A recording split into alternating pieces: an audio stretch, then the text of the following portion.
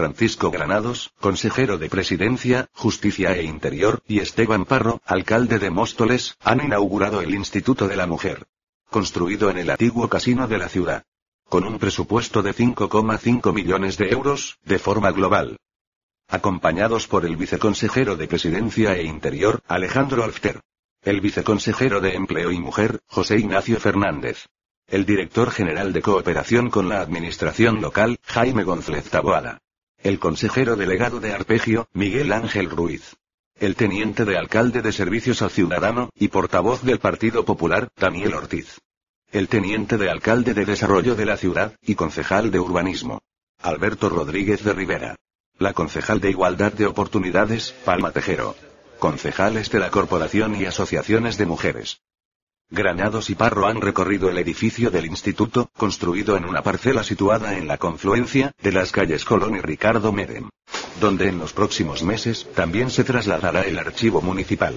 En total, consta de tres plantas sótano. El Instituto de la Mujer tiene 960 metros cuadrados, con un despacho para información al público. Aulas conferencia. Una biblioteca archivo de la Concejalía de la Mujer. El Observatorio Regional de la Violencia de Género y la sede de la concejalía.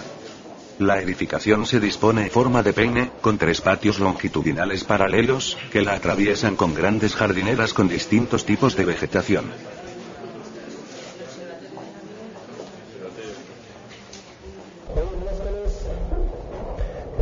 Un salto de.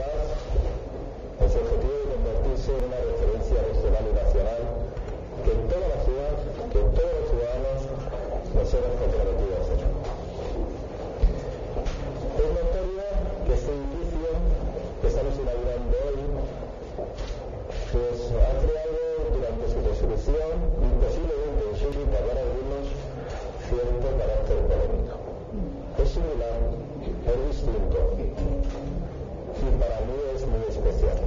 Quiero felicitar muy especialmente al arquitecto. Ahora, que, para que todos ustedes se hagan una idea, ya ha recibido un premio. El Colegio de Arquitectos Británico acaba de conceder un premio a esta obra y que se recogerá en las próximas sesiones. Eh, para mí, como siempre, una enorme satisfacción el que mm, el alcalde de Móstoles, mi amigo Esteban, me ha invitado a un acto y restaurar. Si además es para inaugurar un, un nuevo edificio, una nueva infraestructura, la puesta en marcha, en definitiva, de un servicio, además, con este calado social, pues lógicamente la satisfacción es doble. Yo, eh, escuchando a, a Esteban, eh, cómo expresaba ese legítimo orgullo eh, por tener esta nueva infraestructura aquí en Móstoles, desde luego me sentía copartícipe de ese orgullo. La Comunidad de Madrid ha invertido aquí en este edificio algo más de 5 millones de euros destinados fundamentalmente a este Instituto de la Mujer y que forman parte, como decía el alcalde, del Plan Regional de Inversiones y Servicios de la Comunidad de Madrid, del PRISMA.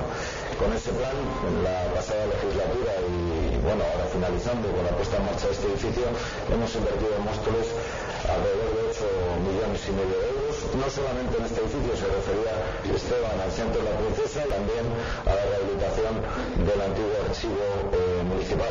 Estamos aquí, en este edificio, el Instituto de la Mujer, que se inaugura además, como decía también Esteban, en unas fechas sumamente importantes. Esta semana estamos celebrando, el miércoles me parece ya 25, el Día Internacional